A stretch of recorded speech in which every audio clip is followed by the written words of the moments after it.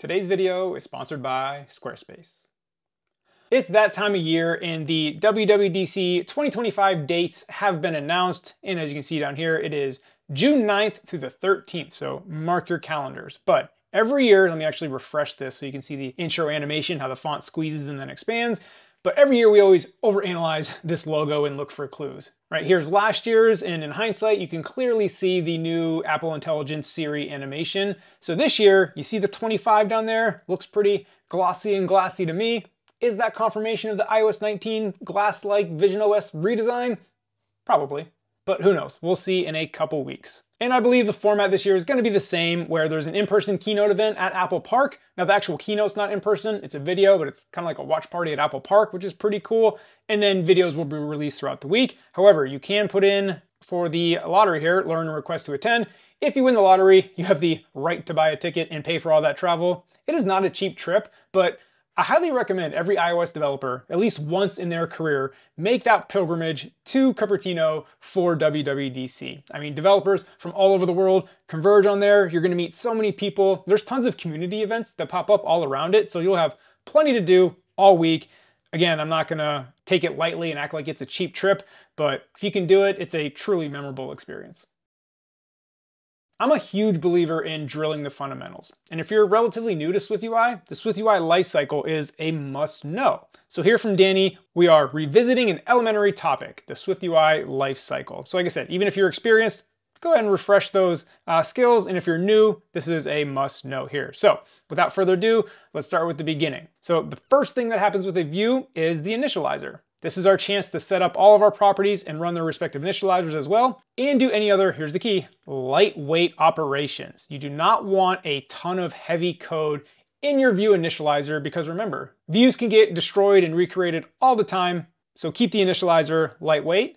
Then comes task. This is relatively new, I believe iOS 15, maybe 16, I don't know, just in the past couple years. Task is a closure that's triggered after the initialization, but before the view appears. And what's special about task is that it's an asynchronous closure. So this is where you can do all your network calls, your Swift data fetches, like you're already in an asynchronous context. And then after task comes on appear, which means the view has finally appeared, it is on the screen, and now you can do anything that you need to do right after the view has appeared, if you wanna trigger some animations. And then once initialized, the SwiftUI view lives and breathes, and then now all your state properties and data flow are taking place, the view is alive, it's there. And then you have on disappear, so this is basically the reverse of on appear, that this is your last opportunity to do any cleanup before the view is removed for the hierarchy, right? Stopping organic tasks manually, saving data, any analytics you wanna do. And then this one, as Danny says, it doesn't really count because you can have a deinit in your observable object, but there's not really a deinit on the SwiftUI view. So if you want to dive into that, I'll let you read that, but I don't want to confuse you with not technically something that's on the SwiftUI view. But yeah, you have the initializer fires off, then you have the task, then you have on appear, and then you have on disappear for when the view goes away. So again, a fundamental topic, but even if you're experienced, it's easy to forget that stuff. And there's a lot of weird SwiftUI behaviors that happen if you try to do stuff in the wrong place. So you got to know this. Keeping with the theme of fundamentals, we have under the hood SwiftUI. And this is a kind of long article, but it explains how SwiftUI works under the hood, but it's also at a high level. Like we're not getting too into the weeds, which is why it's great to maybe refresh your understanding if you're experienced or if you're a beginner. This is a must read article even if like admittedly I think some of it will be confusing or go over your head, but even if only 25% of it sticks with you if you're a beginner, it's still well worth the read. Again, to just get an idea of what's actually going on in SwiftUI.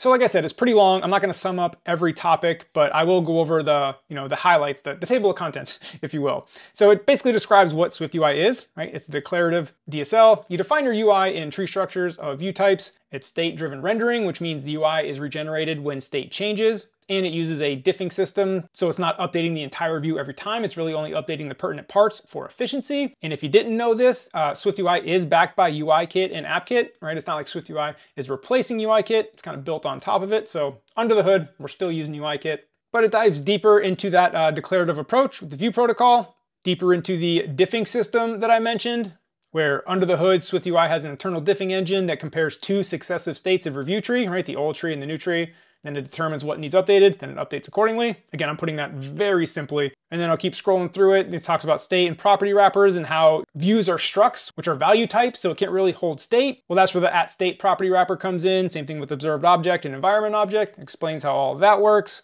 The role of environment and inheritance, how it integrates with UIKit, and then the layout system down here and the proposed size model, right? How the parent basically says to the child view, here's all the size you have. You have this much space available, and then the child calculates how much it actually needs. So again, this is a lot of like implementation details that if you just want to build an app, you don't really need to know. But again, if you want to get really, really good at SwiftUI, and if your app's not behaving like you think it should be behaving, a lot of times understanding what's going on under the hood will help you figure out like why this behavior is happening, and then you can fix it. But anyway, there's more. I'm not going to scroll down and read. Like I said, it's a pretty long article. Performance considerations, testing and preview mechanics, etc. But yeah, under the hood, SwiftUI, definitely go check it out. It's a great refresher. I really resonated with this article by Donny Wals, Death by Papercut, Why Small Optimizations Matter. And the gist of the article is that you have these tiny little paper cuts, he calls them. You know, like maybe you add an extra API call that adds 10 milliseconds, right? Not a very big deal in and of itself. But the problem is you do these not a very big deal right now. It's a very negligible hit to performance. You don't even notice it. But after six months, a year, two years of doing this, like that adds up. And now your app is like really bogged down and slow. And I experienced this recently with Swift Data. You know, when you first start building your app, you can be very carefree with your fetches. You know, everything works fine. You're not noticing any performance. But as the app gets more and more complex, you start noticing your Swift Data fetches are really bogging down your app, or maybe your launch is super slow. So now you got to start only fetching what you need using properties to fetch or indexing your Swift model properties so they're close to each other in the database to make the fetch more efficient and being careful about when and where you fetch things. And Donny mentions a similar example when it comes to making an API call where he was sending up a little too much data to the server and actually the API was sending back too much data,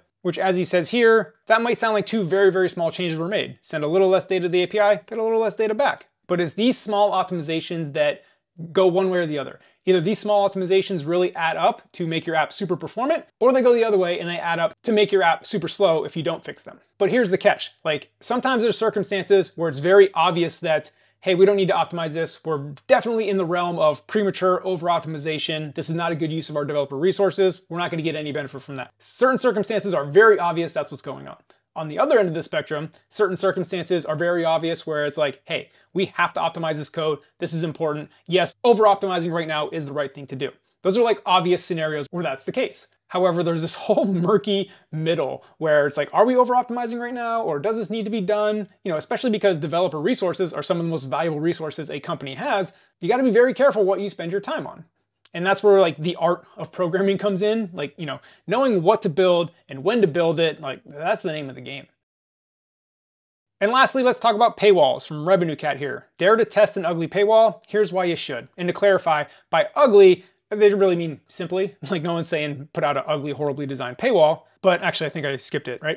There's video paywalls, 3D elements, fancy feature lists, captivating color schemes, like things moving around, super long scrolling paywalls that have so much social proof and all this stuff. The argument here is that maybe you should test a simpler, straight to the point paywall. And Hannah here is saying that she's starting to see this in larger apps. Like here's Strava. Here's Strava's paywall. Strava is a very large app if you're not familiar. Pretty simple. Just a list. I'm gonna actually minimize it so we can see it so I don't have to like scroll down. Like I mean, that's a pretty dead simple paywall rather than all the fancy fluff. Like here's another example. The number one fishing app in the world. Buy it. So she's not necessarily saying that like get rid of your fancy paywall, it's not gonna work. Just making the argument that, hey, maybe one of these simple ones will work because you can get decision fatigue having so much on a paywall. And I think it does matter what your app is. So for example, you know, if you have a super simple app, maybe it's cheap, maybe it's not a huge buying decision, well, having a, a crazy in-depth paywall that has all kinds of social proof, maybe that's just not necessary. You're almost like overwhelming the user versus let's say you have like a $100 a month app and it's a very big purchasing decision. Well, maybe in that case, you do want all that stuff on your paywall. But either way, like you should test it. Like that's always the answer with these things. Ah, test it for your app. But I like sharing this just to test ideas because I think most people would automatically think like having a really, really good paywall that has social proof, your app ratings, videos, all that stuff is going to be the way to go when, you know, some people are finding that a very simple ugly, if you will, it's not really ugly, it's just dead simple, minimal, if you will, paywalls are converting more. So something to test for your app.